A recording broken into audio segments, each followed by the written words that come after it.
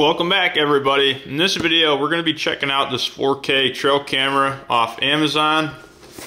As everybody knows I really like the 4K trail cameras because I use a lot of the footage in my videos. It takes up to 32 megapixel uh, photos, video resolution obviously up to 4K. It's got a 0.2 trigger speed, 2.4 inch uh, LCD color monitor, full automatic IR filter, up to 12 months on standby, and it has a micro SD card, and it can support up to 512 gigabytes. Obviously waterproof. Let's go ahead and open it up. See what we got here. You got your user's manual. Okay, so you got your camera right here. We'll take these lens covers off. Let's see what else we got in the box here. Got your USB cable.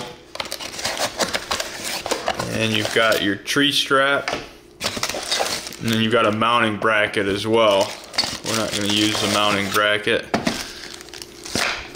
Okay, let's go ahead and open this camera up and get it set up here. Here's your strap right here, and it comes with uh, the setup in the bottom so you can screw it into your mounting bracket as well.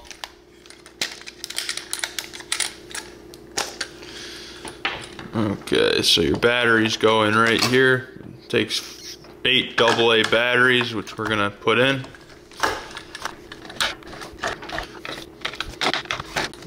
It comes with a mini SD card right here. It is 32 gigabytes. Let's go ahead and turn the camera on and get it set up. Go to menu, mode, we're gonna do video mode. Video resolution, we're gonna go to 4K video length. Let's go to 15 seconds. Audio recording on, shot lag. Let's go to uh, like 15 seconds. I'm going to put it on a trail. Side motion sensors on. Sensitivity middle. Time and date. It is 2022 12 30. And the time is. What time is it, babe? 11.05. Go back to menu, and then I always format the card no matter what. And now this is ready to go. So we're gonna go ahead and set it up, and I'm gonna show you the video we get off of this camera and tell you what I think of it. Okay, I found a nice scrape to set this camera up over right here. So we're gonna go ahead and turn it on. Okay, now it starts the countdown. We'll clip it in. Just like that. It's good to go. We'll see how it does there.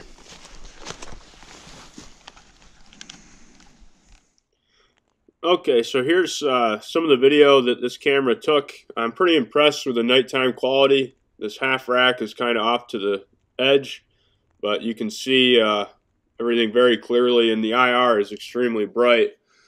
The motion sensors seem to work really well. Uh, picks up motion really, really easily, especially with anything uh, in front of the camera.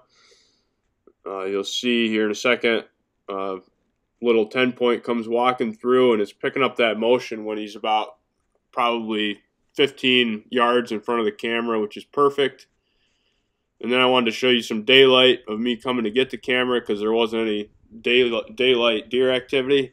Overall, it's a great camera. If you guys uh, want to check them out on Amazon, feel free to look in the description below, and the link will be there. Thanks for watching, everybody.